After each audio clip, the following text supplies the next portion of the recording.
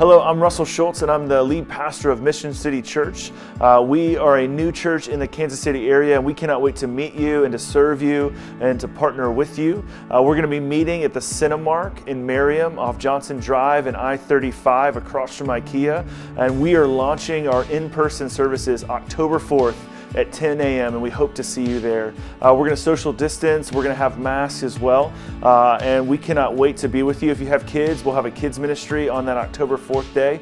Uh, now, if you don't feel comfortable joining us in person, uh, we'll also have an online service uh, as well, and you can find that on our Facebook page, and you can also find that on the Mission City Church YouTube page. We cannot wait to meet you.